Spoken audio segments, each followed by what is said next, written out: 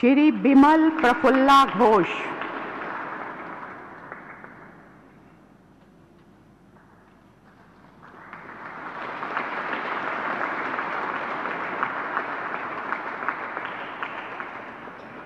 Football coach Shri Bimal Prafulla Ghosh ने Khalid Jamil, Steven Dias, Vikas Jahiru, Raju Gaikwad और बुंगो थामचोक सिंह जैसे फुटबॉल खिलाड़ियों को प्रशिक्षित किया।